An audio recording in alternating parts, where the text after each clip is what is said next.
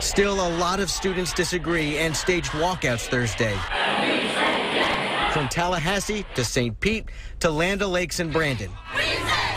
High school students demonstrated, hoping lawmakers hear their concerns. There's no inappropriate age to talk about your sexuality, identity.